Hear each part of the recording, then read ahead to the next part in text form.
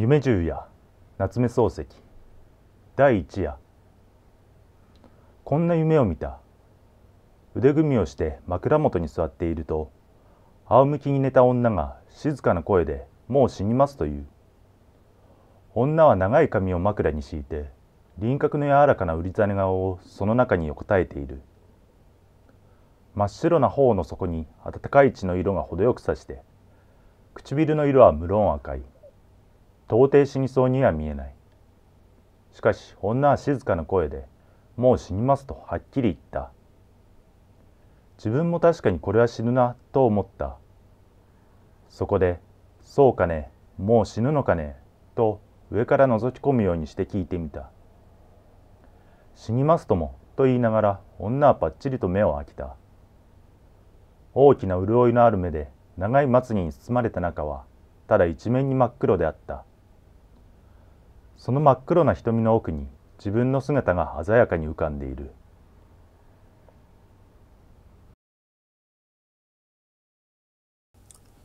夢十夜夏目漱石。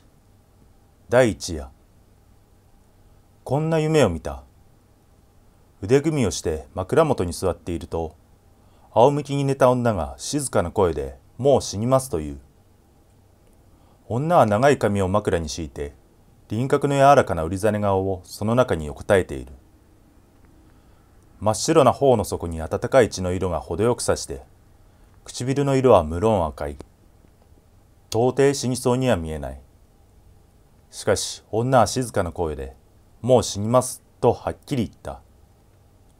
自分も確かにこれは死ぬなと思った。そこで「そうかね。もう死ぬのかね」と上から覗き込むようにして聞いてみた死にますともと言いながら女はぱっちりと目を開けた。大きな潤いのある目で長いまつげに包まれた中はただ一面に真っ黒であった。その真っ黒な瞳の奥に自分の姿が鮮やかに浮かんでいる。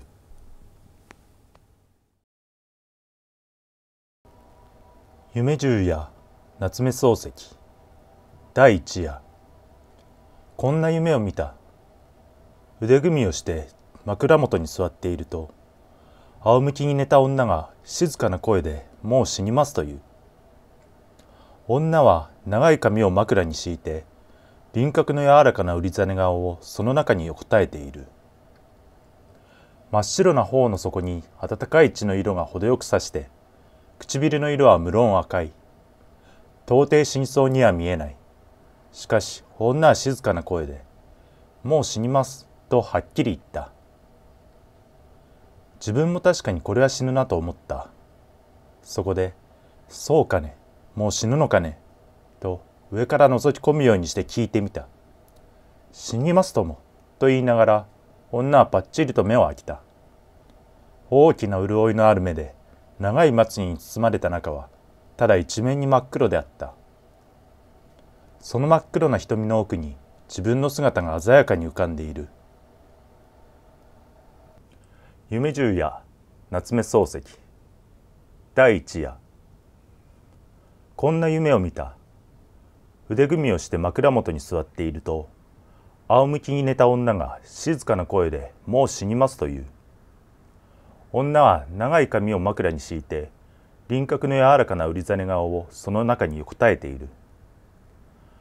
真っ白な頬の底に温かい血の色が程よくさして唇の色は無論赤い。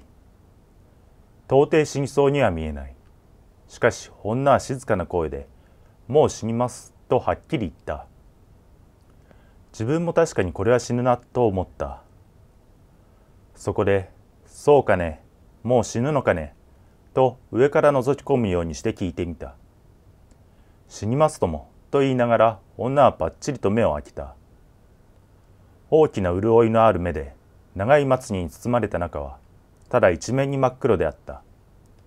その真っ黒な瞳の奥に自分の姿が鮮やかに浮かんでいる。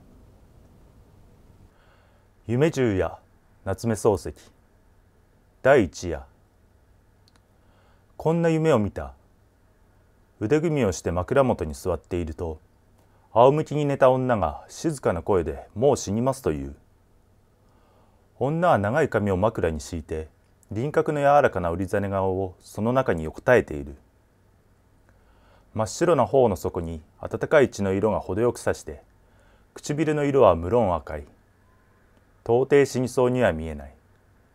しかし女は静かな声で「もう死にます」とはっきり言った自分も確かにこれは死ぬなと思った。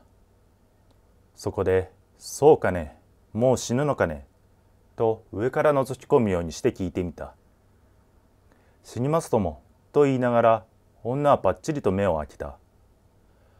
大きな潤いのある目で長いまつに包まれた中はただ一面に真っ黒であった。その真っ黒な瞳の奥に自分の姿が鮮やかに浮かんでいる夢十夜夏目漱石第一夜。こんな夢を見た。腕組みをして枕元に座っていると仰向きに寝た女が静かな声で「もう死にます」と言う。女は長い髪を枕に敷いて輪郭の柔らかな売りざね顔をその中に横たえている。真っ白な頬の底に暖かい血の色が程よくさして唇の色は無論赤い。到底死にそうには見えない。